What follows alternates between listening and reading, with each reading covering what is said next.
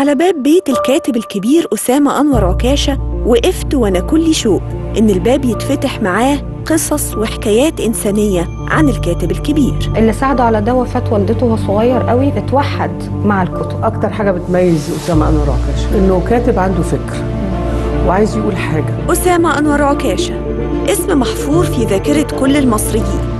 فهو من أثرى الدراما المصرية بقصص وروايات وحكايات واقعية من قلب حياتنا. كل مسلسل نشوفه نقول الله يرحمك يا أسامة انور عكاش لو عرضت عليك كل اللي أنتم متصورين انه حق أبوك. كان تأثيره في حياتنا بشكل مريع يعني.